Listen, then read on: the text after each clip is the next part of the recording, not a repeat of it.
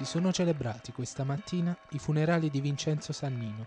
Il velista sedicenne ha negato giovedì scorso mentre si esercitava su una barca a vela nello specchio di mare antistante Castel dell'Oro.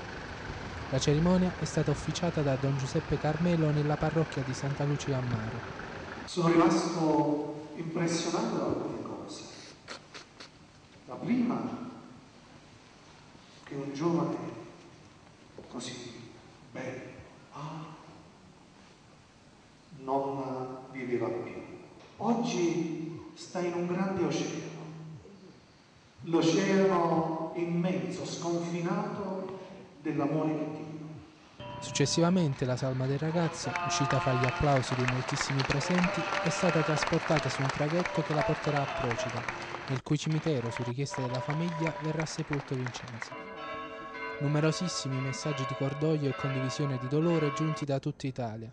Intanto si rende nota una decisione della Federazione Italiana Nuoto.